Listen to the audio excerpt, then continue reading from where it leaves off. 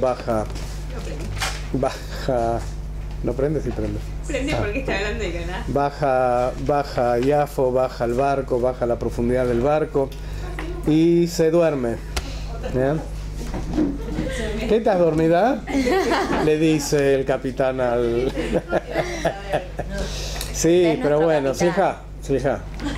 Es nuestro capitán. Este, dice el capitán, se acerca a este pasajero que está dormido y le pregunta Male Hanirda, ¿qué es esto que estás tú de esta manera dormido?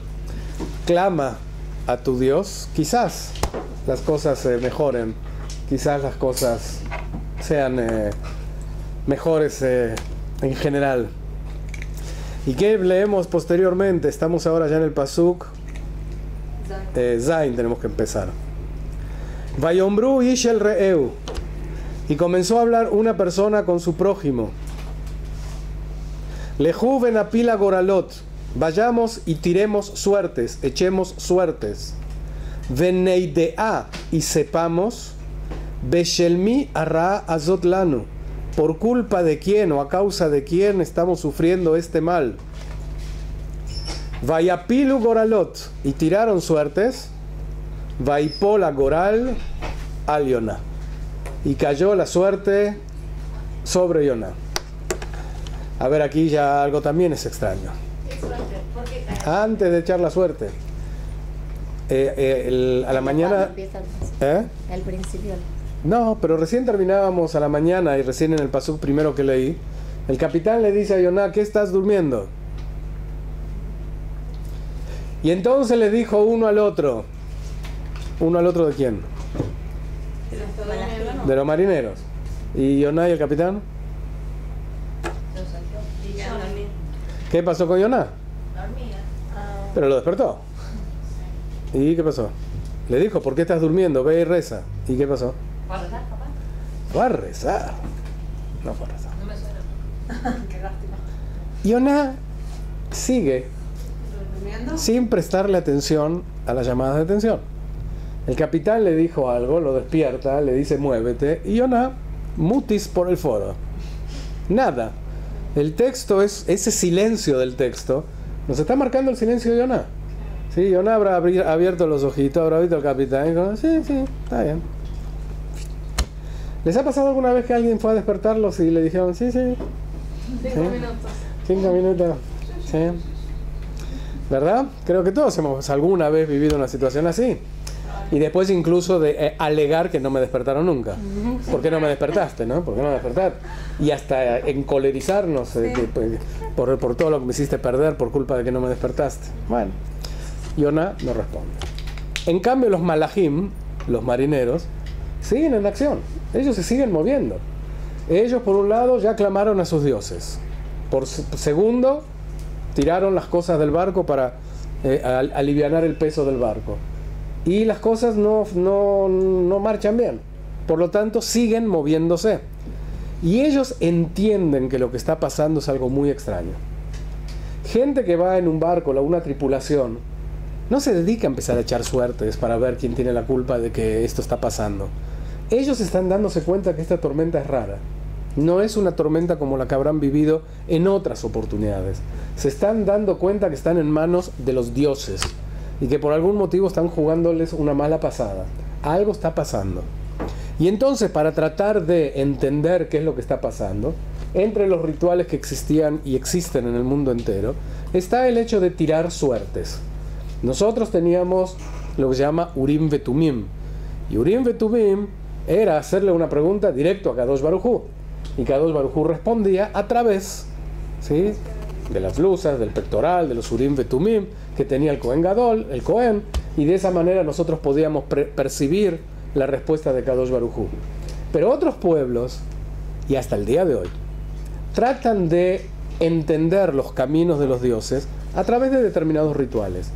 Y es común que existan determinadas cere- ceremonias a través de las cuales tiran, tiran objetos, tiran, tiran eh, monedas, tiran huesos, y dependiendo de cómo caen, de ahí desprenden una respuesta.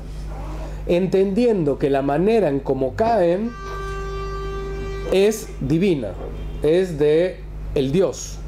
Nosotros estamos acostumbrados hoy en día que estudiamos un- estadística, en la primera clase de estadística que nos enseñan un poquito de probabilidades, la primera clase es qué probabilidad hay de que una moneda caiga de un lado de la- o de la otra. ¿Sí? Y la respuesta es 50%. Ok. La realidad es que no es así. La realidad es que no es así. Y uno puede tirar la moneda y puede ser que siempre caiga del mismo lado. ¿Sí? Es cierto, hay una probabilidad de que caiga de un lado. ¿eh? Pero la realidad es que puede ser que no. Puede ser que no. Hay margen de error. ¿eh? Lo otro es una probabilidad. Pero no es una realidad. La probabilidad es lo que te dice que. ¿Qué probabilidad hay de que un número salga dos veces sorteado en una lotería? Sí, hay, ci- hay 60.000 números. ¿Qué probabilidad hay? Una en 60.000. ¿Sí? Una en 60.000. Ok. Este, hay personas que han ganado la lotería dos semanas seguidas con el mismo número. ¿Les ha pasado? ¿Cómo es posible? Uno diría, si ya ganaste con ese número, ahora cambia de número, ¿no? No tiene... Sí, la probabilidad es que no, hay un relato hasídico que cuenta de una persona que, eh, que se fue de su shtetl. ¿Saben lo que es un shtetl? No saben lo que es un shtetl. Ah, un pueblito de Polonia. ¿Sí? To- todos los abuelitos de todos los Ashkenazim vivían en Shtetlach, la gran mayoría. Un pueblito de Polonia. Un shtetl. Y en ese shtetl vivía un yehudi que era comerciante y decidió irse a Varsovia a comprar mercadería, a la ciudad. Cuando llega a Varsovia, está ahí mirando las vidrieras, vitrinas de las distintas eh, eh, negocios. Iba mirando eh, camisas, pantalones, así. Y de pronto llega a un lugar y ve que hay unos hilitos de metal o de lo que sea y colgados unos papelitos. Y en los papelitos hay unos numeritos. Nada más. Entonces mira una tienda que la tienen abierta y que el señor de adentro vende papelitos.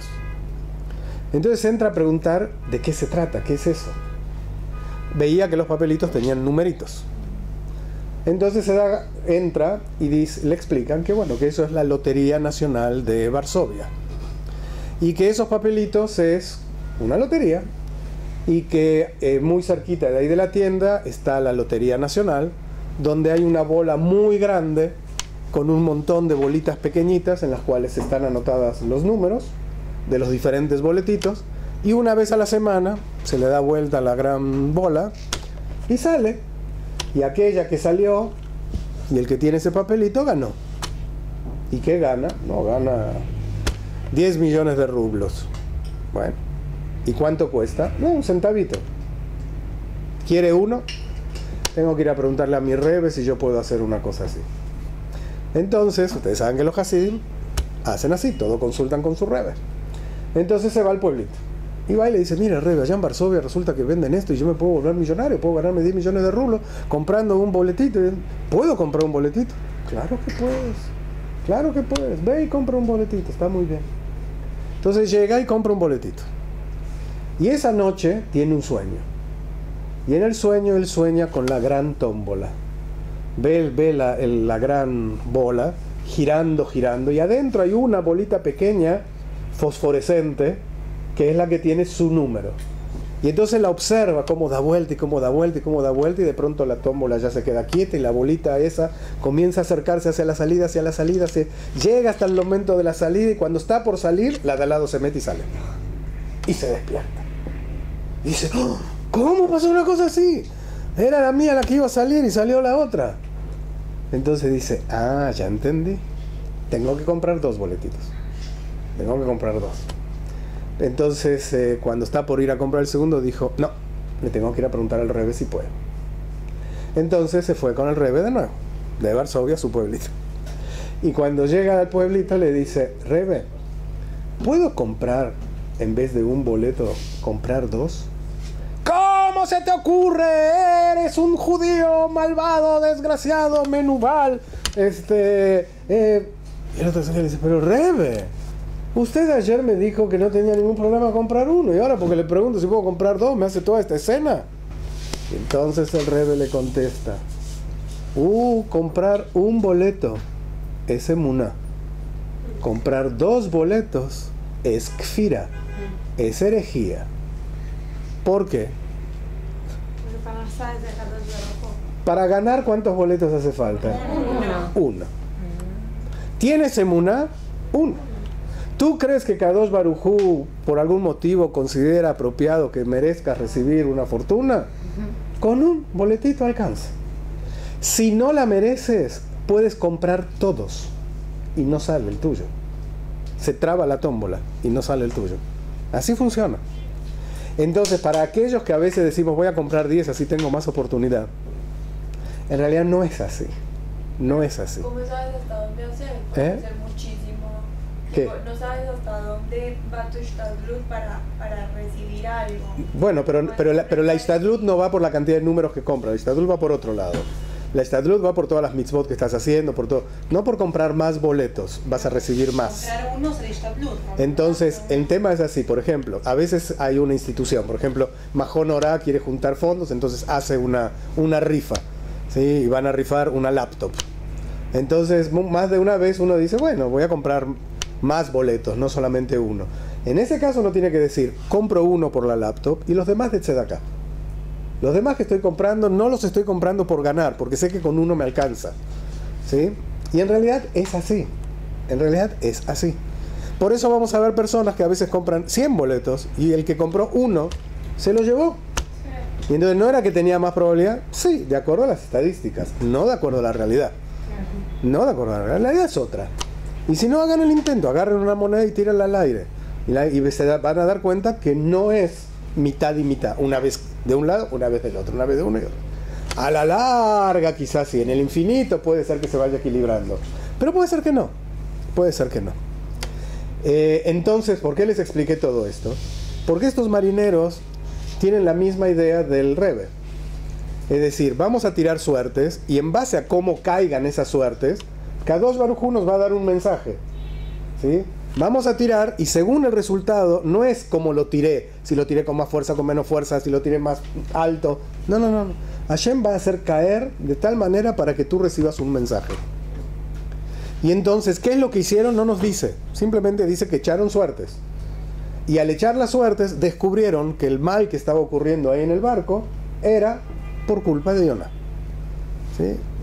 Supongamos, no sé, que, habrán, que habrán puesto distintos numeritos y cada pasajero tenía otro numerito y sacaron uno y salió el de Yonah. Como sea, de alguna manera, de esa manera supieron quién era. De esa manera supieron. Bueno, entonces, después de que el Goral cayó sobre Yonah, Vayombru Eilav, ahora le dicen a él, todos vienen con él, y le dicen, Hagidan alanu, dinos por favor, Basherlemi arraa azot, ¿por qué? Perdón. Sí, Basherlemi arraa azot lanu, ¿por qué estamos teniendo que pasar un mal tan grande? Ma melachteja, ¿cuál es tu oficio? Meain tavo, ¿de dónde vienes? Ma arceja, ¿de cuál es tu tierra? Eimize amata, ¿a qué pueblo pertenecen? perteneces? Dinos, ¿por qué nos está pasando esta, esta cosa mala? ¿A qué te dedicas? ¿De dónde vienes? ¿Qué- ¿Cuál es tu país y a qué pueblo perteneces? ¿Se imaginan, vieron cuando eh, van a entrevistar eh, los periodistas a un, eh, un ministro que sale y de pronto aparecen los micrófonos así que es un chiste que, le van a meter un micrófono así a tragárselo? Bueno, imagínense que los malajim así llegaron con él. Ta, ta, ta, todos a- a acosarlo con preguntas. Pobre Yona. Yona quería dormir tranquilo. Yona se fue a Tarshish para eludir todos los problemas. No puede. Todos lo molestan. Todos. ¿Sí? Hashem lo molesta, los, el capitán lo molesta, los marineros lo molestan. Todos lo fastidian. ¿Y qué le están preguntando? ¿Quién eres? ¿Quién eres? O sea, acá está. Ellos ya saben que es por culpa de él. A pesar de todo, le preguntan a él: dinos a causa de qué está pasando, ¿sí? ¿Qué es lo que hiciste para que esto esté ocurriendo? Y para eso necesitamos saber quién eres. Parece como que si uno no reconoce quién es, uno viene a marcárselo de alguien de afuera. Najón, Najón. Este, y, y recordar quién eres. ¿Quién eres? ¿A qué te dedicas? ¿De qué país eres? ¿Cuáles son tus raíces? ¿Sí? Hay veces que uno se puede encontrar con algún hermano nuestro tan alejado, tan alejado, que uno ni siquiera se da cuenta de que forma parte de nuestro pueblo. Y a veces viene alguien de afuera y le tiene que decir quién es. Yo recuerdo una persona muy, muy alejada del judaísmo, muy, muy, muy alejada. Y, él era, era doctor. Y un buen doctor, un, eminente cirujano. Y en una oportunidad apareció una plaza, una vacante, en uno de los hospitales más importantes de, de la ciudad donde vivía. Es una historia real, no del Rebe. Una historia real. Y entonces él fue con todo su currículum y todo y quedaron, pero muy deslumbrados por la carrera que tenía este doctor.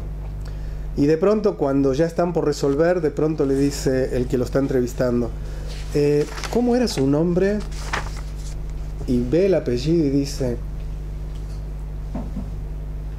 ¿usted es judío? Y el doctor, tan alejado de su judaísmo, le dice, sí. Ah, bueno, déjenos su currículum y estaremos en contacto. Directamente dijeron no por ser judío.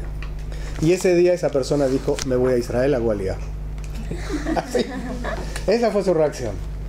A veces tiene que venir alguien de afuera para recordarte de quién eres, de dónde eres. ¿Qué les importa a estos marineros de qué país es? Ve, cuéntanos qué pasó y cómo podemos arreglar el asunto. A veces uno pierde tanto el rumbo que tiene que venir alguien de afuera realmente a recordarnos a todos nosotros. Y estas preguntas, ¿quién eres? ¿Quién eres? Es la pregunta de Yom Kippur otra vez. Es la pregunta que Hashem nos está haciendo todo el tiempo. ¿Sabes quién eres? ¿Sabes quién eres? ¿Sabes de dónde eres? ¿Sabes de qué a qué pueblo perteneces? Y si eres ese, ¿cómo es que te portas así? ¿Cómo puedes comportarte así? ¿Cómo puede ser que hagas la Shona Ra si eres del pueblo de Israel? ¿Cómo puede ser que comas taref si eres del pueblo de Israel? ¿Cómo puede ser que eres una mala persona, un menubal, si eres del pueblo de Israel? Me gusta la palabra menubal, vamos a utilizarla. ¿Cómo puede ser? ¿Cómo puede ser? Este, y así la aprendemos, ¿no? Un malvado, un desgraciado. Este, ¿cómo es que te vistes así si eres del pueblo de Israel? ¿Sí? Y uno busca mil, mil cosas, ¿no? En, eh, hace muchos años en otra comunidad en la que estuve, en una oportunidad en la ciudad de Monterrey, Nuevo León, llegó a la comunidad el decano, el rector de la, de la Universidad de Monterrey, a la comunidad y habló con el rabino que era eh, el Rav Kaiman, que era un Rav que estuvo, que dirigió la comunidad casi 60 años. Cuando yo estuve trabajando con él, él ya tenía casi 90 años. Entonces, pero él era, imagínense, ¿no? Era, era un hombre eh, muy reconocido en la ciudad, ¿no? Y fue y le dijo, ¿cómo es posible que con los únicos muchachos que tengo el problema que le voy a contar son los muchachos de su comunidad? Los muchachos de su comunidad se van a Israel cuando terminan la preparatoria, la secundaria. Se van a Israel y vuelven para anotarse en la universidad. Y todos vuelven con los pelos verdes, rojos, amarillos. ¿sí? ¿Se acuerdan de esa época que todos se pintaban los pelos de colores? Dice, esos son los, los muchachos de su comunidad. Fue terrible, ¿eh? fue vergonzoso que tenga que venir el Goy a decirle al Yehudi, bueno, ¿qué le pasa a tus muchachos? Pero vienen y preguntan. Y a nosotros, nosotros tenemos que escuchar esta pregunta. ¿Quién eres? Por supuesto que esta pregunta también viene a aquel que no es de origen yehudí, de familia, pero hizo un giur y forma parte del pueblo de Israel. Es la misma. ¿Eres un ger? Eres un yehudí. A partir de este momento eres un yehudí. ¿Y por qué dejaste de cumplir mitzvot? ¿Sí? Cuando hiciste tu giur dijiste que ibas a cumplir mitzvot y después ¿qué pasó? Ah, que conocí a los Yehudim, ya, ya soy giloní. Es un problema de los Gerim. ¿ves? Pobre. Qué prueba, ¿eh? Qué prueba de los Gerim. Encontrarse con los gilonim de Israel. Y este, pero realmente, o sea, ¿por qué a mí me exigen cumplir y el otro que, que nació Yehudí no cumple? Pero la pregunta es la misma, ¿quién eres? Tendría ¿De dónde eres? ¿Eh? Tendría que ser al contrario, que tendría que ser un problema para los giloníes. Ah, pero el giloní ni se da cuenta. Y claro, y, y obviamente va a ser un problema para los giloní. Déjalos llegar ahí arriba. Claro que sí, claro que sí. Y es de lo que más le molesta al giloní, cuando ve al ger que cuida. O el ger que es el que logra que un Beit Knesset se mantenga con Minyan. Como sucede en muchos lados. Que, es que realmente es cachetazo para los Yehudim. De, que todos, todos son Yehudim. El ger también es Yehudí. Pero el Yehudí que viene de, de abolengo, digamos, bueno, ¿qué se trata? ¿Quién eres? ¿A qué te dedicas? ¿Por qué, por qué este, eh, está sucediendo todo esto? Y Yonah ya no tuvo más opción que hablar. No le contestó a Hashem, no le contestó al capitán. Ya ahora, ya no puede, o sea, ya, ya se le vinieron todos encima. Y entonces tiene que contestar. Y miren lo que contesta. Vayomer Aleyan, Pasuk Tet, Ivri Anoji. Soy hebreo. Soy del pueblo, del, del pueblo de Israel. Ivri Anoji. Vet Hashem Elokei Ashamaim Ani Yare. Y al Dios de los cielos, a Hashem, Dios de los cielos, yo le temo. Asherasa etayam Veeta Yabashá, quien hizo el mar y la tierra. ¿Qué contestas?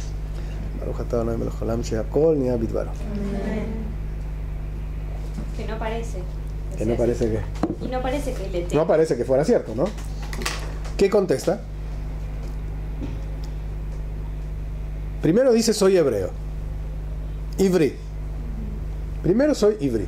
¿Quieres saber de dónde vengo, de qué tierra soy, de qué pueblo soy? Soy Ivri. ¿Quién era el? ¿Qui- ¿A quién otro se lo llama Ivri en el Tanaj? Abraham. Soy de Abraham. Soy, de- soy. También sabemos, y en más de una oportunidad en, en estos ámbitos lo hablamos, que Ivri significa aquel que está de un lado y el resto está del otro lado. ¿Sí? Eso significa Ivri. El que está de un lado y el resto del otro. Pero pertenezco al pueblo de Israel, soy hebreo. Y tengo temor. Yo temo a un Dios. ¿Y cómo lo, cómo lo nombra Hashem? Dios de, del cielo, creador de, ¿cómo dice? El cielo de No. la, de la- del El Dios de los cielos, creador de la tierra y, y del mar. ¿Dónde anda Yoná? En el mar. ¿De dónde se fue Yoná? De la tierra. Ah, Sí. te está dando cuenta. Es medio extraño todo esto, ¿no?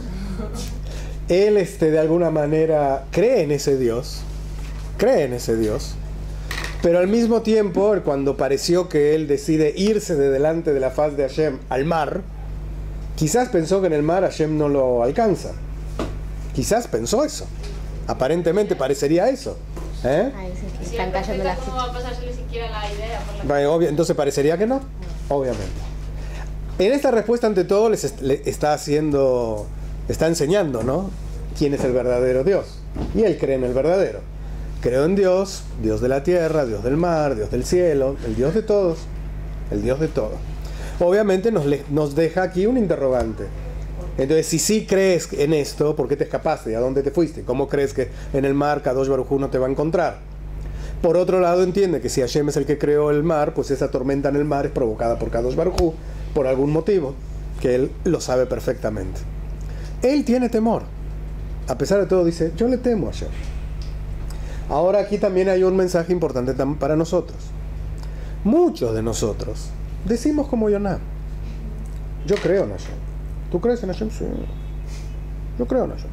Hashem que creó el cielo, la tierra. ¿En serio crees? ¿En serio crees? Ya no hablemos de Yoná, de nosotros. ¿En serio crees?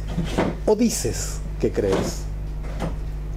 Porque cada vez que realmente actuamos así, fíjense, es, muy común que cuando alguien de pronto entra a un salón como este, si yo ahora les preguntara a ustedes, ¿quién de ustedes cree en Dios?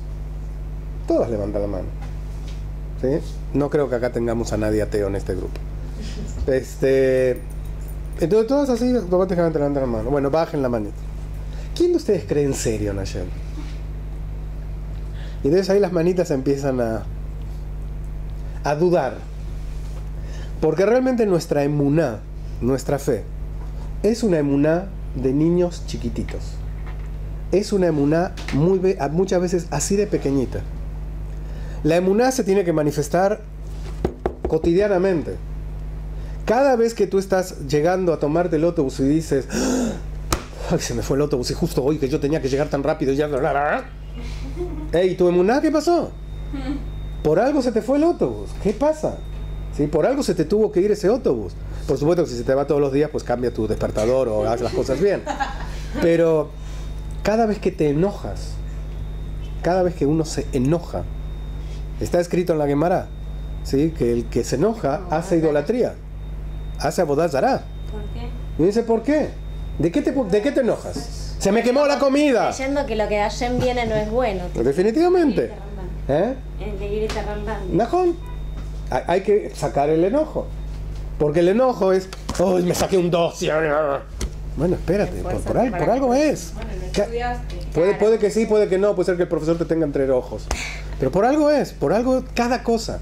Justo hoy que tenía la boda me rompí el pie y no voy a poder bailar. Cosas que suceden, ¿verdad? Cuando uno abre los ojos se da cuenta que cada cosa que sucede por algo es y siempre es para bien de cada uno.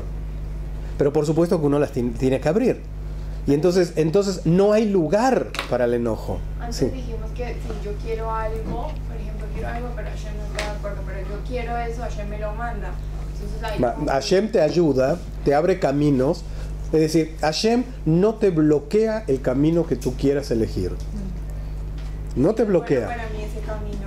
Eh, te va a mandar señales durante todo el camino. Hasta que. Te va a poner señales en todo el camino para decirte, este no es el mejor camino. Kadosh Barujú incluso en toda la Torah nos dice, si me escuchas y si no me escuchas. Si vas por aquí, te espera esto y esto y esto y esto y esto. Si vas por aquí, Ubajarta, Bajaim, elija el camino de la vida, pero quieres irte por el otro, adelante. ¿Sí? Te lo voy a asfaltar si quieres para ir. Pero por otro lado te voy a poner carteles que dicen, este no es el buen camino, este no es el buen camino, este no es el buen camino. Mejor retorna, mejor regresa. No te olvides que si sigues por aquí te vas a caer al abismo. Pero bueno, ¿sabes qué? Déjame, me quiero ir al abismo. Hay gente que se quiere ir al abismo todo el tiempo. Muchos. Como que el humano se maneja por las consecuencias como más inmediatas, tipo, porque como que está bien, siempre hablamos de la emuná en Olam- en Olamaba, pero es como que al no tenerlo tan cercano es como que... Bueno, solamente que en el Shema Israel todas las promesas de Kadosh Barujú son de este mundo. Hashem no promete nada de Olam Abba. ¿eh? En la Torah no hay nada de Olam Abba. Todo es de aquí. Te voy a dar lluvia, te voy a dar parnasá, te voy a dar este. Eh, vas a estar en tu tierra, te voy a echar a patadas de tu tierra, te voy a eh, mandar guerra, te voy a mandar ¿Quién paz. trae el Olamaba? ¿Mm? ¿Quién trae el Olamaba? Eh, a través del Sod, a través de- del Remes, se puede encontrar señales de Olam Abba. Pero a nivel textual, No entendí. Pero se ¿Eh? ¿No entendiste? Todo lo que habla la Torah en la Torah, cuando Kadosh Barujú, cuando Moshe le dicta al pueblo de Israel la Torah, todas las promesas de bendiciones o maldiciones son en el Olam Olam Hazeh. Peralo. ¿Todo? ¿Eh? Todo, todo, todo. Vas a tener lluvias, el- la tierra te va a dar el, el alimento, vas a poder alimentar a tu, a tu ganado, vas a tener paz, no pasará espada por tu tierra. En caso contrario, vas a estar en guerra, la tierra te expulsará, te vas a ir a una diáspora, vas a tener miedo, vas Entonces a... Hicimos todo mal. ¿Mm? Hicimos todo mal. Bueno, eh, no te olvides que somos un pueblo, y por lo- un pueblo terco y por lo tanto seguimos haciendo todo mal. Pero así sí queda la pregunta de Moshe. Eh, bueno, es, eh, entonces ahí vamos a empezar a, entonces ahí vamos a empezar a buscar respuestas. Obviamente Moshe también entiende el Sod y Moshe también sabe de la Mabá, sí. Pero a nivel de Pashhat, no hay nada. Pero no hay nada también porque po- uno mismo en su propia vida puede ver, si abre los ojos, puede ver esa recompensa y o castigo. No se crean que es tan difícil verlo. Si uno realmente se pone las antenas y se pone los anteojos adecuados, ve la mano de Hashem y la presencia de Hashem todo el tiempo. Y no se sorprende tanto. A mí hace un año atrás y aquellas que ya mm, me tuvieron antes, eh, tuve una historia maravillosa, maravillosa que la tengo que no me la tengo que olvidar porque hay que escribirla en un libro porque es increíble, increíble. Este, llevé a pasear a un grupo eh, de Maccabi de Buenos Aires, de directivos de Maccabi que llegaron un viernes a la mañana. Ellos eran, eh, eran puros hombres y una de las esposas fue amiga mía desde la primaria, entonces a través de ella llegó el contacto y una amiga con la que tengo una relación de amistad hasta el día de hoy. Este, a pesar de estar casado y, ser fiel. Y este es una relación muy especial, una relación de amistad muy muy fuerte. Y entonces este es- paseo con el grupo de Maccabi vamos por toda la Iraticá, subiendo, bajando, nos metemos, este, vamos a ir David, subimos, ¿no? saben que es bastante pesado. Eh, dado que es Shabbat, todo cerraba a las 2 de la tarde, seguimos en la Ira Hadashah, me meto, caminamos, nos fuimos hasta Geula, bla, bla. Y mientras íbamos caminando, eh, los directivos de alrededor de 40 años me seguían así. Y uno se sienta.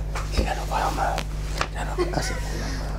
Bueno, y yo le dije, pero vamos, vamos, vamos, sí se puede, vamos. Aparte, cuando yo estoy paseando, no sé de dónde ayer me manda tanta fuerza y no paro, no paro. Entonces, este, sí, me que no hago deporte ni nada especial, pero hago ese deporte, caminar mucho. Y entonces, este, lo pas- pasamos y paseamos y estuvo muy lindo. Llega, eh, llega Shabbat, llegué a la casa, me lo preparé rápido para Shabbat, llegó Shabbat. Termina Shabbat, termina Shabbat y decido escribirle un mail a mi amiga. Y le cuento que estuvo muy lindo, que la pasamos muy bien, que realmente estuvo fantástico, pero tipo chistosito porque hago bromitas de vez en cuando y como bromita le digo, pero te quiero contar que tus directivos de Maccabi no sé qué estado físico tienen, porque no po- hubo algunos que ni un paso podían dar. Así le escribo, ni un paso podían dar. Así que a ver que revisen ahí en Maccabi qué pasa, porque la condición física como que no está bien. Ok. Estoy por apretar send y me doy cuenta que mi amiga vive en Buenos Aires, recuerdo, y ella no cuida Shabbat. Por lo tanto, apreté borrador, grabo el, el mail en borrador y digo mañana, domingo a la mañana o en algún ratito se lo mando. Eh, el domingo era el Brit Milá de mi, de mi nieto, de mi nietito precioso israelito. Mi segundo nieto en total, mi segundo nietito. Era el Brit Milá. Y yo, el Sandak. ¿Sí? Entonces, dado que es el Brit Milá y además soy Sandak, después de irme a la tefilá me fui a la tevilá. ¿Sí? Dicen que un Sandak tiene que ir a la tevilá el día de- del Brit Milá de, de quien va a ser el Sandak. Salgo de la tevilá y de pronto vuelo en una escalera y caigo. No tengo la menor idea cómo volé, pero sí sé que hice así con las piernas y, y caigo sobre la cintura. Y no me puedo mover. Viene una persona y me dice, eh, ¿lo, lo ayudamos? Sí, por favor. Me levantan y me ponen en un taxi, pues yo estaba a unas seis cuadras, me ponen en un taxi, llego a la casa, le pago el del taxi y el taxista me mira y me dice, ¿le pasa algo? Digo, no puedo bajar. Le marco a mi hijo que estaba en la casa, sale a la puerta de- del carro, me saca, no puedo caminar. Con un vecino me llevaron a la casa. Eh, inmediatamente me tuve que ir al hospital. En el hospital silla de rueda, este, radiografías, etc. Baruch Hashem no tuve fractura, pero me, me lastimé todos las- los eh, ligamentos y entonces eh, reposo absoluto, eh, etcétera, etcétera. Era el Brit Milá de mi nieto, a la tarde. Entonces, bueno, ¿puedo estar sentado? Sí. ¿Qué tiene que hacer un sandak? Estar sentado. Si a mí me hubiera tocado entrar al niño, no hubiera podido. Pero estar sentado, puedo. Y entonces me senté, fue el Brit Milá. Eh, ustedes vi- vieron que al sandak después se le acerca todo el mundo a pedirle braja, braja, braja, braja. Yo estaba en una tarima alta, ¿sí? Todos, braja, braja, braja, braja. Y después de cada braja todos bajaban a, comer. Y de pronto terminaron todos de recibir braja y yo me quedo ahí sentado. Fue maravillosa la escena. Y entonces yo empezando a hacer señales a alguno de mi familia que me venga a rescatar. Me levantaron. Y después llegué a la casa a la noche, eh, cargado con tres personas que me llevaron adentro del departamento. Y estuve en cama durante tres días. No podía ni levantarme al baño. No había manera. O sea, yo tenía un dolor brutal. Ya después empezó a ceder. Lentamente empezó a ceder. Después de esos tres días voy a la computadora y descubro un mail que está en un borrador y que no había mandado. Y entonces lo miro y veo. Y dile a los de Maccabi que a ver qué les pasa que no pueden dar siquiera un paso.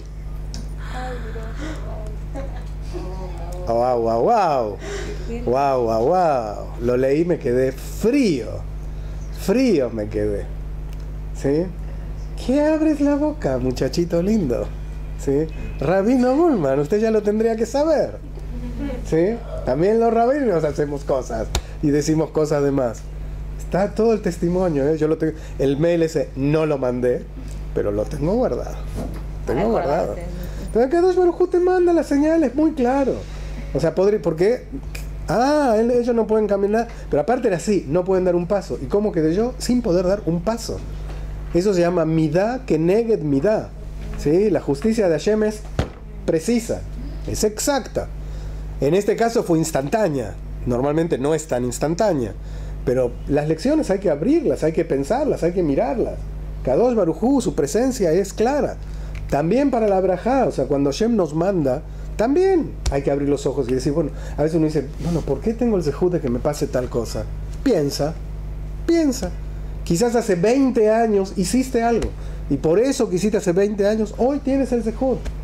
No sabes qué suerte, llegué y yo estaba solo y de pronto vino una persona y me ayudó y no sé qué de dónde salió, qué lindo. Y bueno, quizás hace 20 años hiciste algo parecido con otra persona tú y viene. Entonces las brajot y las klalot son claramente visibles en este mundo. No necesariamente que esperarse al Olam Abba. No necesariamente. Por supuesto que va a haber cosas que vamos a recibir Sahar y Onesh también en el Olam Abba. Pero cuando Hashem habla de, de Sahar y Onesh, habla aquí. Habla acá. ¿Sí? Y por supuesto que si fuera instantáneo perderíamos el libre albedrío. ¿sí? Porque todos seríamos, trataríamos de ser buenitos todos. Si todo fuera inmediato, ¿sí? si, si yo supiera, bueno, ayudé a la señora viejita a cruzar la calle y ya me llegó un mensajito del banco, se le depositaron 100 shekel. eh, pa- ¿Cómo? Bueno, en época que realmente de, de todos tzadikim. Sí, ni, ni- en, en realidad era una época maravillosa, del primer Beit HaMikdash. Sí, pero imagínense si fuera así. ¿Quién sería malo? Sí, eh, pa- pateaste al gato, eh, 70 shekel menos. Entonces, eh, no, no, no, me porto bien. Puro 100 shekel que... Sí. Pero todo lo que pasa es Oscar o Onesh, no puede ser que, ah, mira, Hashem me dio un regalito y ya está. Es Tiene que, que ser por algo que yo hice. siempre viene por algo. Siempre viene por algo. Sí, definitivamente. Hashem ya, ya nos dio la vida, ese es el gran regalo que te dio, y a partir de ahí uno ya la va haciendo la vida. Uno va haciendo y Hashem te va premiando, castigando. Pero una aclaración más. ¿Qué es castigando? Porque la palabra castigo suena fuerte. ¿sí? Obviamente, el que yo haya volado en la escalera y me haya golpeado, ¿eh? fue un castigo. Pero el castigo de Hashem, no, cuando Hashem me castigó, no estaba arriba diciendo, lo hice caer, lo empujé, estuvo buenísimo cómo se cayó. No, no. Seguramente Hashem habrá derramado una lágrima. Y decir, ¿cómo es posible que haya hablado de esa manera? ¿Sí? Y cuando me manda ese castigo, me manda para que yo aprenda, cambie y mejore. ¿Sí? En realidad, cuando nosotros castigamos, y así debería ser, el castigo de un padre, el castigo de un maestro, siempre tiene que ser por el bien del hijo, del alumno, no por, por sadismo. ¿sí? No es por disfrutar de castigar. Hay quienes castigan así, simplemente por, por, por el disfrute que tienen de estar castigando. Pero un verdadero castigo es un castigo de aprendizaje. Es un castigo para que la persona aprenda algo. Es por eso que realmente nosotros no somos justos, porque ponemos castigos y ponemos premios que no tienen ni pie ni cabeza. ¿Sí? Nos equivocamos cuando castigamos. ¿Sí? Ah, tiraste la- el café en la mesa, entonces te vas a ir a, a dormir sin comer el postre. ¿Y qué tiene que ver? Porque castigamos desde, la- desde el sentimiento de frustración o rabia. o De la tontería, de la tontería. ¿Sabes qué? Tirate el café, bueno, a ver, limpia la mesa, no pasó nada, haz- hazte otro cafecito. Pero así reaccionamos. Una- los alumnos se portan mal, a dos puntos menos en la calificación. ¿Qué tiene que ver? ¿Qué tiene que? Por eso está escrito Shema quien ama disciplina. También, claro. Ahí lo tira por las escaleras después de la micro, sí señora. Ahora, Raf, ahorita usted acaba de decir que todo lo, lo que ganamos bueno viene por una obra buena que hicimos. Yo creo en, en esa ley de siembra y cosecha que uno, cosas buenas que se hacen, tanto malas, en algún momento uno las recibe. Pero también creo, más allá de nuestras buenas obras, que hay cosas que recibimos que no nos las merecemos, ni hemos hecho nada por merecérnoslas, que van más allá de cualquier bondad nuestra. porque en Isaías está escrito también, nuestras buenas obras son trapos de inmundicia a los ojos de Akadosh Baruj Hu". O sea, lo más bueno que podamos hacer Es nada delante de los ojos de sea, nos Hashem. dio la vida, ya nos dio todo. O sea, que ¿qué tanto nos podemos ganar nosotros luchando? Sí, podemos ganar. Todo, Pero todo. ¿Hasta qué El, el, pasuk de Ishayahu es para que te ubiques y sepas con humildad, ¿sí? cuando tú te la estás pasando diciendo es que yo doy mucha tzedakah, yo hago una tefila maravillosa, y ya, bla, bla, bla", bájale, bájale, bájale. ¿sí? Este, nos- eh, de pronto nos agarra el argentinito a todos. ¿sí? Y aquellos, y quiero decirles, aquellas personas que hacen teshuva, se les sube el orgullo mucho. Los tienen más de este problema. Tienen mucho orgullo. toda la vida. ¿sí? De pronto, por el zehut de tener Torah, empiezan a sentirse superiores. Superiores a los gilonim y superiores a los datim de toda la vida. Najón. Puede ser que lo único que hayan aprendido es una hojita de Gemara y se consideran jajamitos o jajamotes. He observado mucho ese, ese Cuidado, es una prueba terrible, terrible para, para el Baal Teshuvah, muy fuerte.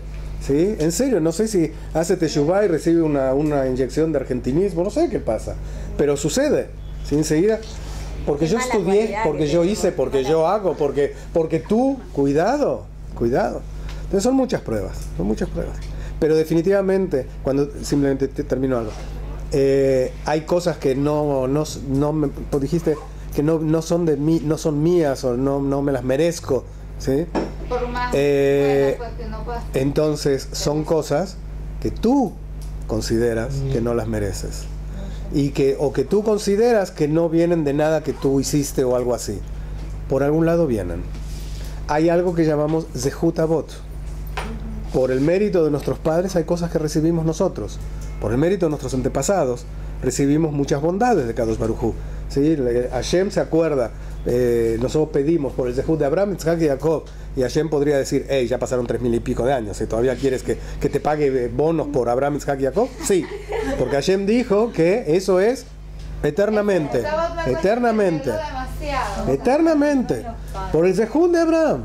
Por el Zehut de Abraham. Simplemente por decir, bueno, pero este es un desgraciado. Pero ¿sabes- pero ¿sabes quién es? Es el descendiente de Abraham. Abin. Ok, ok. ¿sí? Cuando tú a veces conoces a alguien ¿sí? y te dicen, es el nieto de él. Ah, mira. Y tienes una relación diferente. Solamente por ese detalle. Puede ser que él no tenga nada que ver con su abuelo. Pero por el solo hecho de traerte el, el hijus, ¿sí? Y al revés también. No sabes, este es el nieto del narcotraficante. Oh, no, yo no quiero saber nada de él. ¿Sí? ¿Sí o no? Si no, no, ¿sabes qué? Mejor con esa familia no me meto. Hay cosas que realmente por algún lado vienen. Y hay otras que posiblemente tú digas, no me las merezco porque no vinieron de nada, de ningún lado. Y cuando te presentes con Kadosh Barujú te va a decir, mira, uy, yo de esta me había olvidado por completo. Ah, querido, ahora la ves. Y te puedo asegurar que cuando uno hace introspección, cuando uno busca, encuentra, ¿verdad? Cuando tú terminas de decir, terminas de hacer la limpieza de pesas y dices, ya está todo limpio, todo perfecto, ¿sí? ¡Bum! Aparece algo todavía. Mueves el refri y ni te cuento todo lo que hay ahí atrás. ¿Sí? Más de una vez cuando llega la, la- la limpieza pesas decimos, yo vivía en esta casa. Qué mugroso, qué asco me da vivir en esta casa. Y ahí viviste. Hay que mover, ¿eh? Y cuando uno mueve, Dios mío, la cantidad de cosas que encuentra. Sí, Eh, pero también en el asunto de si decimos que todos porque hiciste algo que te lo mereces, un chico chiquito que le pasa algo, no estoy diciendo que no es por lo que algo bueno va a salir de eso, pero ¿qué pudo haber hecho que se lo mereció? Un chico que sus padres lo abusan, no sé qué. Salvo que venga de la Neyamá y que no sé qué, el pero- Definitivamente tocas un punto como otros miles de puntos donde estamos muy limitados de entender. Pero esa limitación no te tiene que llevar a la conclusión de que hay casos en los que no sucede esta regla. Siempre ¿Qué sucede. Y por algo es. Por algo es. Hay una historia en la Gemara. Dígame en la India que Hay una es la historia- más rara del mundo. hay una- Todo lo que no existe nace allá, gente con cola, gente con... Es un fenómeno. Hay una, hay una historia en la que- Eh, querían estudiar Yonah, ¿verdad? Hay una historia en la que, que nos cuenta de. Todas ustedes estudiaron de lo que es el Ir Miklat, la ciudad refugio. La ciudad refugio, donde hay dos personas, una pers- dos casos. Uno, aquel que mata con intención, merece pena de muerte. Y aquel que mata sin intención, este, tiene que irse a la ciudad refugio, en la cual le harán un juicio, verificarán que realmente mató a otra persona por accidente sin intención y por lo tanto puede permanecer dentro de la ciudad refugio, él y su familia, hasta la muerte del congador, o sea, quedarse mucho tiempo y de esa manera continuar con vida y salvarse del Goel Adam, del redentor de la sangre, que va a querer vengar la muerte de su familia. Ok, todos conocemos eso. Eh, cuenta la Gemara de una persona que fue y mató a alguien con intención. Y después de matarlo, obviamente la, la- que dice la Torah debe morir. Pero no había nadie en el lugar donde lo mató. Y nadie lo vio. Y nadie los vio juntos. Y nadie podrá imaginar de que realmente fue él el quien lo mató. Por lo tanto, este hombre, el asesino, decide dejar, dejar tirado el cuerpo tirado por ahí y regresarse a su casa. Seguramente después de algún tiempo alguien encontró el cadáver y los ancianos de la ciudad más cercana tuvieron que hacer toda la ceremonia y enterrarlo. ¿Y quién se enteró de que él lo mató? Nadie. ¿Sí? No había estudios de ADN ni nada por el estilo, nadie se enteró. Bueno, paralelamente hubo otro que mató a alguien sin querer. Estaban los dos solos en el bosque, talando los árboles y taló el árbol y cayó el árbol encima del otro y lo mató. Pero no había nadie viéndolos. Y entonces dijo, ¿y por qué me tengo que ir a la ciudad refugio? Me voy a mi casa. Sí, pues también la ciudad refugio es una cárcel. Sí, o sea, también es una cárcel cómoda, pero en definitiva me quedo encerrado. Me voy a mi casa. Y también ahí, después de un tiempo, habrá aparecido alguien y vio un cuerpo aplastado por un árbol. Pobre hombre, se le cayó un árbol encima. Punto. Cuenta la Gemara que pasa el tiempo y ambas personas, el asesino con intención y el asesino sin intención, ambos que no habían recibido sus respectivos castigos, ni pena de muerte, ni este, ciudad refugio, los dos coinciden en una taberna, ¿sí? en un lugar donde se toma. Normalmente las tabernas eran de dos pisos, planta baja donde estaban las mesas, sillas y las bebidas, y la planta alta que era como un albergue, una, un- en algunos casos transitorio, y en otros casos no, que era el hotel del pueblo. Y entonces eh, entre los dos pisos una escalera central. Eh, los dos llegan a ese lugar, no se conocen, ¿sí? no tienen nada que ver, pero los dos coinciden en ese lugar. Aquel que mató con intención se pidió su cafecito, el de la tarde que se lo dieron. Y este y como no había ningún lugar donde sentarse, se sentó en la escalera, en el primer escalón abajo, se sentó tranquilo a tomarse su café. El que mató sin intención sale de su habitación de arriba y empieza a bajar las escaleras. Y de pronto tropieza, se cae por las escaleras, golpea al hombre que está abajo y lo mata. El que él, la gente vio a este hombre que se cayó y dijeron, bueno, bueno, pero, pero fue sin querer. Y entonces, ¿qué hicieron? Se lo llevaron a la ciudad refugio. El otro que merecía pena de muerte se murió. Y el que tenía que llegar a la ciudad de refugio se fue a la ciudad de refugio. Ahora, la gente de la taberna, ¿qué dijo? Pobre hombre, sí, no hizo nada, estaba sentado tomando un cafecito, pobrecito, y este tarado se le vino desde arriba, y mira cómo se le... Así, de así hablamos, y así decimos, así pensamos, ¿sí? Y este pobre al final también se cayó sin querer, y al final, mira, Kadosh Barujú hace las cuentas. Kadosh Barujú es el único que sabe absolutamente todo. Entonces, cuando nos pasan cosas y no las entendemos, ante todo tratemos de hacer el esfuerzo de buscar. Y muchas veces vamos a, vamos a llegar a, a comprender. Bemet, vamos a poder comprender. Hay veces que tenemos que esperar 20 años, ¿eh? Y si ya se los digo también por experiencia de vida. Hay veces que tenemos que esperar muchos años para de pronto decir, recién ahora entiendo por qué hace 30 años me pasó tal cosa. Bemet, Bemet que así es. Y hay otras que posiblemente no tengamos la capacidad o el tiempo de entender. Y llegaremos arriba y en ese momento ahí arriba vamos a entender todito, todito, todito. Tan, es así que ya no vamos a preguntar nada, porque todo va a ser muy claro. Entonces las cosas que no nos merecemos, cada vez va a decir, ¿cómo te vas a merecer? Te las mereces, las buenas y las no tan buenas. Y no se olviden que las cosas malas de Hashem son buenas. Todo es bueno, todo es bueno. Ya viene Rosh Hashanah. Nunca Ah. que veamos las cosas ¿Sí? Exactamente. Tan buenas. Siempre es Tobá, pero no necesariamente es Metuká. Siempre es Tobá, todos los años. Pero a veces no es, no es Matok.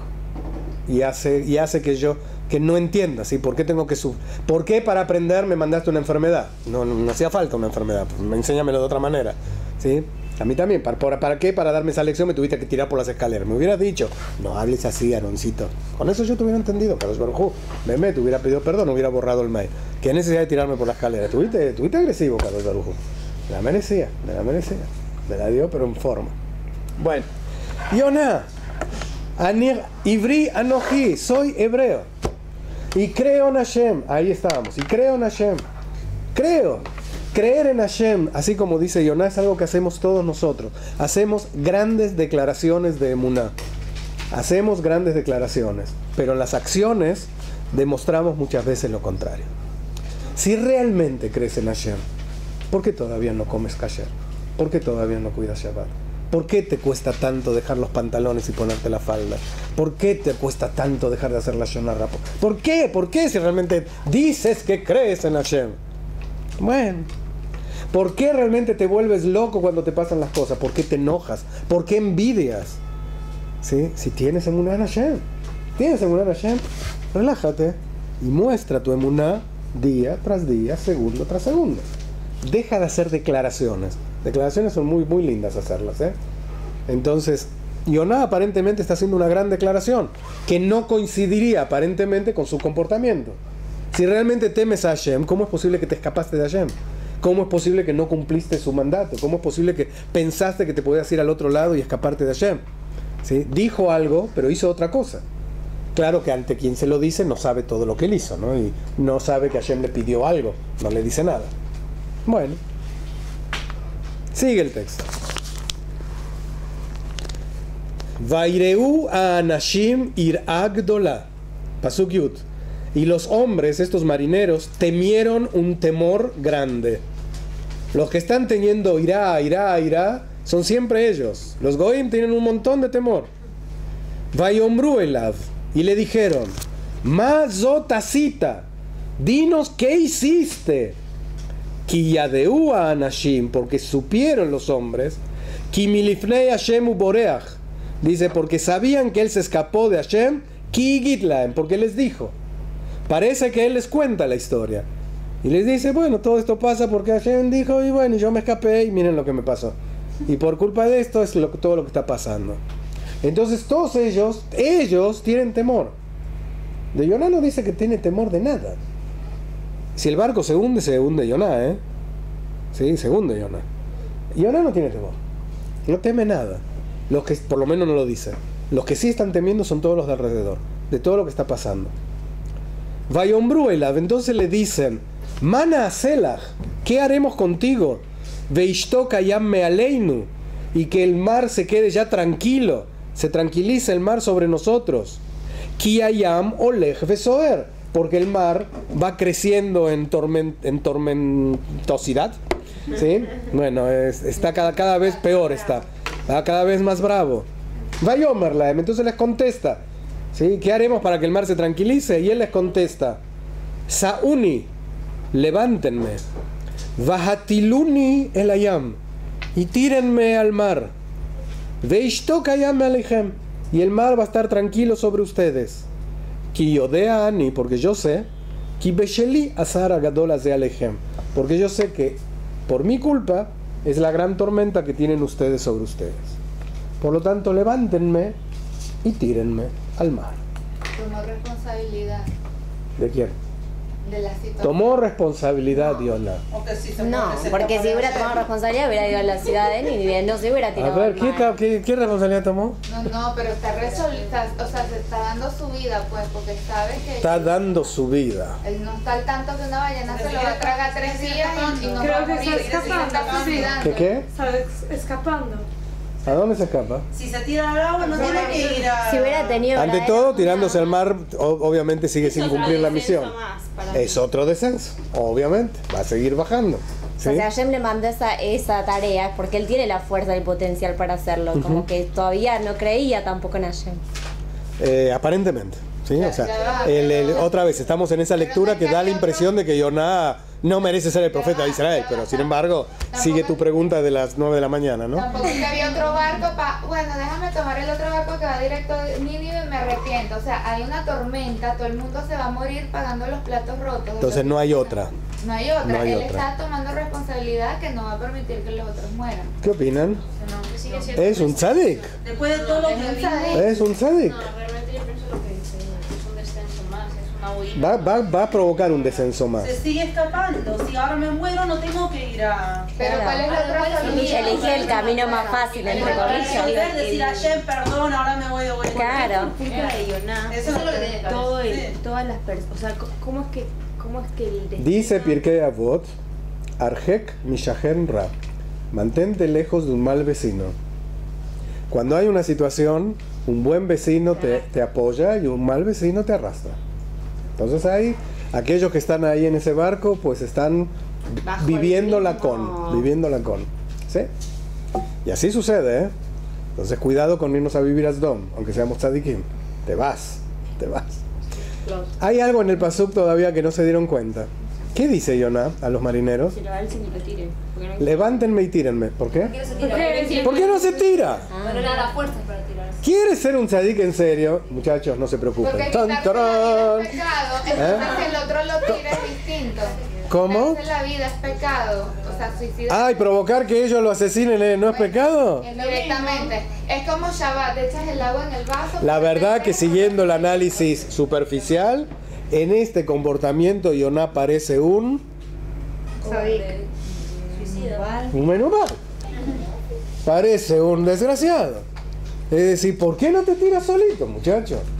Tírate. ¿Por qué encima vamos a tener que nosotros ahora pagar un asesinato? Porque es obvio que si te tiramos a un mar tormentoso, te estamos ma- mandando a la muerte. Con tal de salvar- salvarnos. Somos unos egoístas, somos un- unos malvados nosotros. Y Oná, para, para actuar, está involucrándolos a ellos, diciéndoles a ellos, levántenme y tírenme. Sí. Puede que todo lo que Yonah está haciendo es para demostrarle a ellos que van a muchos lados porque están en el mar y no sé qué, demostrarle a ellos el Dios verdadero. Eh, Estoy hablando de dar. Es muy lindo, no sé, es muy lindo lo que dices. Y obviamente ellos van a aprender mucho. Solamente que Kadosh Baruj le dio otra misión. Ya sé, ¿Sí? pero me duele. ¿En serio? No, claro que duele, claro que duele. Los hombres van a aprender mucho de Yonah, muchísimo. Pero es como que te dijeran, eres more de ahí, te vas a dar la clase allá. O sea, que, que- perdón, te están esperando ahí. Hay un pueblo que tiene una amenaza que en 40 días va a ser destruido. ¿Para qué está mandando a Shema ese pueblo, a Yonah? salvarlo. Para salvarlo, no para destruirlo. ¿sí? Si Hashem está mandando un profeta a un lugar para avisarles que en 40 días el pueblo va a ser destruido, el objetivo es darles tiempo para que ese pueblo haga teshuva, reaccione y no merezca. ¿Sí? Porque si no, no hace falta decirles, adivinen qué, en 40 días. Es horrible, ¿eh? ¿Sí? Que a una persona le digan eh, la silla eléctrica para el 4 de marzo. es horrible. ¿Sí? No, cuando Hashem lo hace no es para decirle cuándo vas a morir, sino haz algo ahora y te vas a salvar. Y Ona les está quitando a ellos la oportunidad de hacer Teshuvah. ¿Sí? Y mientras tanto le está dando una lección a la gente en el mar. Está bien, muy linda. Ya te entendí. Sí, estuvo bien tu comentario. Pero en definitiva, no es donde tiene que estar. ¿Sí? Si Kadosh Barujú quiere que esta gente aprenda, pues hay otros medios para que lo pueda aprender. ¿Sí? Hay otros medios. Entonces, este, Yonah otra vez asume una actitud muy extraña, muy extraña. Muy de él. Parecería muy egoísta. Está pensando en él. Y entonces dice, tírenme, tírenme y va a estar todo tranquilo. El tirarme obviamente puede ser que provoque mi muerte. Y si me muero, tampoco cumplo la misión. ¿Sí? Es el mejor lugar para escaparme. ¿Sí? En definitiva, chao, me voy. Hay personas que cuando se quitan la vida, ese es el objetivo. No tienen la valentía y el valor de seguir vivos y por lo tanto dicen, chao, se acabó. Se acabó. ¿No? Es bravo el tema. ¿Y qué hacen los hombres estos? Lo tiran. Dice, Vayachteru a Anashim leashiv el ayavashá velo yachlu. Y trataron estos hombres de remar con fuerza hacia la tierra y no pudieron. ¿Quiénes son los tzadikim? Ellos son unos tzadikim. Tirar al pasajero por la borda. Un tripulante no tira a un pasajero por la borda. ¿Sí? No, pero dice que Pero no pudieron, pero intentaron. Siguen intentando hasta el último momento de no tirarlo. No, no piensan. Él, él ya les dijo: toda la tormenta por culpa mía, bla, bla, tírenme y se acabará. Y entonces estaríamos esperando que, bueno, y lo levantaron y lo tiraron. No. Dice el libro de Yoná: todavía siguieron luchando los marineros para tratar de regresar a la tierra. Y no pudieron. Ki hayamo lech besoer, porque el mar sigue cada vez más bravo. Vayomer aleyem. Eh, no. Eh, Vaikreu el Hashem. Y clamaron. ¿A quién? Ah, Ah. Ya dejaron de hacer Abodazara. Aparentemente sí aprendieron algo de Yonah. Muy bien. ¿Ven? O sea, ya saben quién es el verdadero. O quizás es el Dios de Yonah. ¿Sí? Porque en la mente de un idólatra, como que cada uno tiene su propio Dios. No necesariamente están dejando la idolatría, sino que bueno, ahora le rezan al Dios de este hombre. Vaikreu el Hashem, Vayombru, Ana Hashem. Ana Hashem. ¿Conocen esa frase? Por favor. ¿Dónde aparece Ana Hashem? Ah, hay muchas veces, ¿no? Ana Hashem ¿eh? En el Alel, eh, eh, cuando queremos pedirle a Hashem que nos ayude, Ana Hashem. Alna Novda Benefesh Aish Azeh. No, que- no lleguemos nosotros a la perdición por este hombre. Veal titen aleinu dam naki. Y no ponga sobre nosotros una sangre inocente, una sangre. los hombres están diciendo eh, que no seamos nosotros culpables por el derramamiento de esta sangre. No es nuestro objetivo matar a una persona. Pero si la única manera de que nos podamos salvar y que el mar se aquiete es esta, por favor, no nos eh, eches la culpa de haber tenido que hacer lo que hicimos. Kiata Hashem kasher hafatzta asita. Porque tú, Hashem, como quisiste, así hiciste. Todo lo que está pasando, Hashem, es porque tú estás haciendo esto. Entonces, antes de tirarlo, fíjense todo lo que hacen. Primero intentan regresar, segundo están haciendo tefilá. Le piden a Hashem, no nos echen la culpa de lo que estamos por hacer. Todo esto está pasando, ¿sí? Nos vimos involucrados todos nosotros por este hombre que tú mandaste y se vino a nuestro barco. Y entonces, por favor, Ana Hashem, no te enojes con nosotros. Y levantaron a Yonah. Vayetileo la. Y lo arrojaron al mar. Vaya a moda y a misapo. Y el mar se tranquilizó de todo su enojo. Vaireu Anashim Irag Dola et Hashem. Y los hombres temieron un gran temor de Hashem. Y ahora no es un temor, temor por la, por el- por la tormenta, sino que ahora tuvieron Irat Shamaim. ¿Sí? Hashem. Y hicieron, y bien llegaron a la tierra, hicieron korbanot para Hashem e hicieron promesas, nedarim. ¿Sí? Hicieron promesas, no dice que, que lo que hicieron, pero como que se unieron al camino de Kadosh Baruchu. Y Yonah sigue bajando, sigue bajando. Hubo un momento de elevación de Yonah. Cuando lo subieron. cuando lo levantaron para tirarlo. ¿Sí? Está escrito que a veces necesitamos hieridad para hacer una alía. ¿Sí? Hay que hacer un. A veces uno, para realmente para, para- para poder subir, a veces hay que bajar un poquito y subir. Y uno toma como un, un empujón. Pero al revés, no. Subir para bajar, no ese es el objetivo. Así no hay que hacerlo. Yoná, los otros como que lo suben un poquito. Pero Yoná se va más al fondo. Bajó a Yafo, bajó al barco, bajó al fondo del barco y ahora se va ahí a conocer a la sirenita. Se va al fondo del mar, sigue bajando. Y Perek Bet nos dice: Vayeman Hashem Dag Gadol Livloa et Yonah. Y Hashem tenía preparado un gran pez para tragarse a Yonah. Vayei Yonah bimei adag y estuvo Yonah dentro del pez Shlosha yamim u leilot y estuvo adentro del pez tres días y tres noches. Y obviamente el pez adentro del mar. Y bueno, ¿qué está haciendo el pez en el mar? Copiando. El pez está en su lugar, ¿verdad?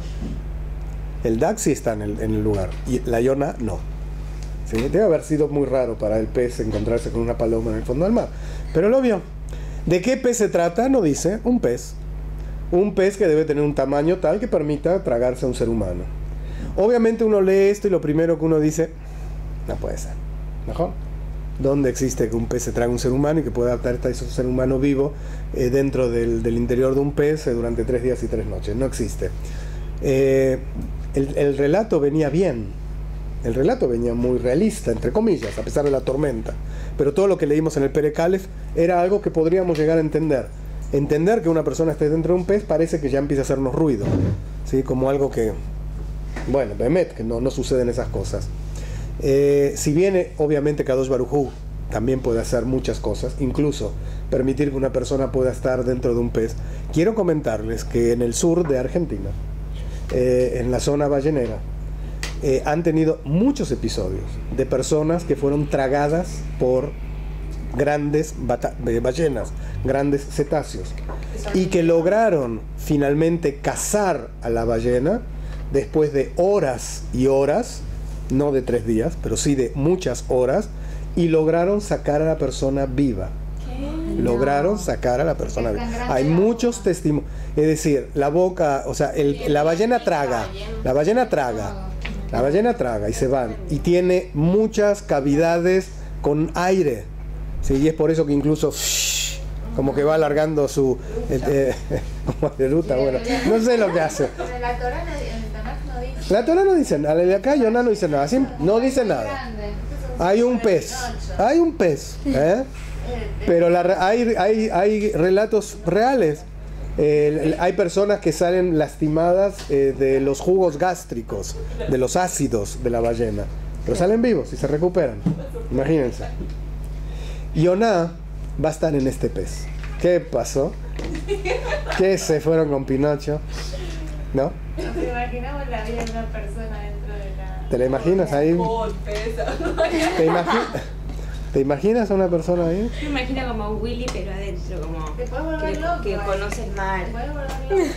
¿Quieres escaparte? ¿Quieres estar solo? ¿Quieres estar lejos de todo? Kadosh Baruj te prepara un lugar. Miren, un lugar precioso. ¿eh? Más vale boca de ballena que de tiburón. Bueno, sí, bueno, ahí te lo preparo. Ahí se comen viva. Y dice después el Pasuk Bet de ese Perek Bet, dice, Vaitpalel el Yonah el Hashem Elokav, perdón, Vaitpalel Yonah el Hashem Elokav, mi media daga. Y rezó Tres días Hashem. rezar. Me agarró miedo. No entiendo. A ver, si estoy bajando en el mar, recién me tiraron, y se me está acercando una ballena, Debería rezar, rezar. ¿eh? ese es el momento, ¿no? No. Yonah es Yonah. Yonah es Yonah. Yonah es coherente con su actitud todo el tiempo. Pasa un día, pasa una noche, otro día y otra noche, y otro día y otra noche. Ya se tendría que haber muerto, ¿no? Hoy. No, no te mueres. No te mueres. Hashem te va a dejar en esa situación de stand-by. ¿sí? Ahí te vas a quedar. Y recién al cuarto día Yonah reacciona. Como que ni, ni reza para pedir ayuda, no sé qué, como que bueno, me doy cuenta que no me voy a morir, dale lo que vos querés. Así O- parece. Eh, él puede pedir ayuda para vivir o para morir. ¿sí? Pero para... Lo peor es estar en esa situación. Hay una situación dentro de... Cuando se habla del Olam Abba y del Ganeden y del Geinom, hay, una, hay un eh, un status que se llama Kaf Akela. Y Kaf Akela es cuando una Neshama no va ni al Ganeden ni al Geinom. Y se queda en una situación de que no puede estar ni aquí ni allá. Kaf Akela es eh, hay, unas, hay unas ondas, y acá los palestinos la usan, que se pone una piedra y se, se hace así. Se gira, se gira, se gira, se gira. La piedra está ahí siempre. Y va a hasta que no largo, la piedra no se va. Y la piedra se mantiene ahí por el movimiento. ¿Sí? De la, ¿Cómo se llama eso? La inercia. Este. Kadosh Barujú tiene una Neshama haciéndole así. castigándola, castigándola. Ni siquiera tiene esa Neshama al Zehut de ir al Gein- Geinom para purificarse y poder pasar al Ganeden. Ni siquiera tiene el Zehut quizás de hacer un Gilgul. Se queda así. Dicen el Zohar que es lo peor que le puede pasar a una Neshama. Lo peor. ¿Sí? Quedarse ahí. Como ¿Cómo ten- uno puede llegar transitorio. tiene que hacer eso? Bueno. Pero Eh, no saberlo. son de los del, eh, hay que ser demasiado rayá para llegar a una situación es decir es una situación en la que ni siquiera mereces ir al Gainom sí eso es Y ellos ¿Eh? sí Eh, quizá por Yakut Avot. este y entonces así está Yonah así está Yonah en, en la nada en la nada estos tres días podrían ser 10, 20, 500 años se podría quedar ahí Yonah después al cuarto día finalmente reacciona. Cuando cada uno de nosotros podría haber dicho hubiéramos reaccionado al segundo. No.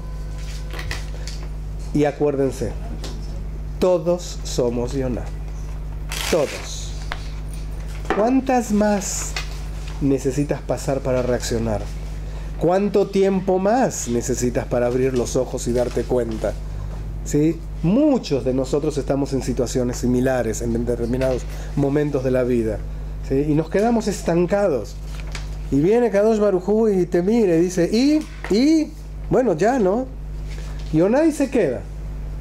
Ya después de tres días de estar en una situación así, finalmente abre su, abre su boca Pero y no reza. obliga, ¿por qué? Porque ¿Cómo? pone al límite a una persona que no quiere. Si no quiere, no quiere y ya. ¿Para qué usted pone al límite? Si luego lo vas a terminar. No, ¿para qué se puso él al límite? Hashem no lo puso al límite, él se puso al límite. No, lo puso al límite. ¿Por qué? Hashem le dijo que vaya para allá. Por eso, pero él lo quiso. Bueno. Y Para Pero si bajó es un lo que, mundo lo para que hacer hizo, una misión. vol- vol- en realidad, volvamos a relacionar. Eso con todos. Obviamente no. Obviamente. Por algo eligió a Yonah. Es lo que todavía no hemos hablado. ¿sí? Porque hay mucho para hablar acá. ¿sí? Estamos, a- estamos hablando de Yonah realmente como si fuera un desgraciado. Pero cuando uno vuelve al texto y dice, bueno, pero Yonah están los profetas, y Yonah es un profeta, y no es cualquiera. Realmente Yonah aparece en el libro de Melahim también, como un profeta de la época del rey Yerabama Sheini. ¿sí? escribió mucho. Estuvo, sí, claro. Eh, Yonah era un hombre conocido, este, aparte de tener su libro especial. Y por algún motivo, este, Hashem necesita, lo necesita Yonah. Necesita. Pero Ah, en realidad- en realidad quieren. Pero por algo lo necesita Yonah. Pero es lo que Hashem quiere. Hashem podía haber, eh, tú en nuestra forma de pensar, bueno, no va Yonah, lo mando a ella, lo mando al otro. No, tiene que ser Yonah. Quizás porque necesito que sea Yonah el que vaya para hacer la misión y además necesito que Yonah aprenda algo. Lo necesito. Y Hashem a veces te hace eso. Ahora, Hashem no lo llevó a la situación extrema, lo llevó a muchas situaciones. No extremas. ¿Sí? Lo llevó, le mandó una tormentita, le mandó un barquito. Finalmente, finalmente llegó a la situación Claro. extrema. Ahora, ¿sabes qué? Si. Todavía hay situaciones más extremas. Perder una ¿sí? pierna. De pronto alguien puede cazar a la ballena y de pronto puede llegar a un ballenero y de pronto escucha a Yonah desde adentro cómo pasa en la sierra. ¿Sí o no? Sí, y él saber que en cualquier momento la sierra ya le va a cortar la pierna a él, la cabeza a él. Está escrito. Y eso es algo que tenemos que saber. Que uno nunca tiene que decir, Lo que está escrito. este, no lo que está escrito. Uno nunca debe decir eh, qué mal estoy. Si uno dice qué mal estoy, Kadesh Bokadosh Barujú nos dice, ¿tú crees que está- estás mal? No sabe que tengo. Ahí te va, Agárrate. agárrate y ahí vas a ver qué mal estás. Y por otro lado, si uno quiere, pero, llorar, eh, y, pero, y en el otro caso, cuando uno dice, ah, estoy divino, bárbaro, me- mejor no podría estar, mejor no podrías estar, ahora te voy a mostrar que sí se puede estar mejor. ¿sí? Eh, Argentina, que es el país donde he nacido y del cual hemos hablado, en Argentina muchas veces he escuchado decir, peor no podemos estar. Y Argentina siempre ha demostrado que sí. Sí. Una y otra. ¡Oh, no! Sí, no, peor no, peor no podemos estar. Brasileña Es muy común en Argentina. Y Argentina ha demostrado, pero así, con, Siempre ha demostrado que sí se puede. Y en situaciones personales también. Uno, uno a veces cuando está mal y piensa que está que peor no puede estar, pasa un año y extraña cómo estaba el año anterior. Y extraña. Claro, claro. ¿Sí? Entonces extraña. Y finalmente reza. Y Hashem lo va a escuchar. Y Hashem lo va a escuchar. Eh, obviamente es la primera vez en todo el texto que Yonah le va a dirigir una palabra a Kadosh Baruj al cual tiene temor y al cual cree que es el Dios del cielo, la tierra y el mar, donde él se encuentra, obviamente. ¿Sí? Finalmente, finalmente puede hablar. Y no se olviden que Yonah comenzó sin contestar siquiera, sin pelear con Kadosh Baruj Hu, sin discutir, sin decirle manda a otro, veme, no tengo ganas, estoy cansado, estoy ocupado, tengo que ir, a- tengo que ir al banco a cubrir un cheque, no tengo tiempo. Pod- Podría haber hecho cualquier cosa. No. Finalmente, la situación extrema a la que lo llevó Hashem es hacer que Yonah hable. Y que hable con él. Eh, ¿No quieres llegar a esa situación extrema? Habla con Hashem ya. Y Hashem cuando te está hablando, quiero decirles que Hashem nos llama todos los días, ¿eh? Todo el tiempo. No, no, no por el celular, ni por el mensajito, ni por WhatsApp, pero Hashem nos está hablando todos los días. Y nosotros le decimos, ocupado. Háblate, háblame más tarde, por favor. Estoy hablando con, con mis mil amigos de Facebook. Estoy ocupado. Cuidado con nuestra red social. Aquella la, la tenemos a veces muy abandonada. La red directa con Kadosh Barujú. Que siempre escucha, que siempre contesta. Es maravilloso. Es maravilloso. Pero hay que prestar, hay que abrir los ojos, en serio. Es Eh. ¿Eh? Es mejor que el inalámbrico. Y es más directo y más rápido. Instantáneo. Es impresionante. Impresionante. Y gratis. Bueno, no sé si gratis porque cómo nos cuesta, ¿no? Pero este, sí, pero sí, gratis. Eh, le salió lo paisano. bueno, se nos fue.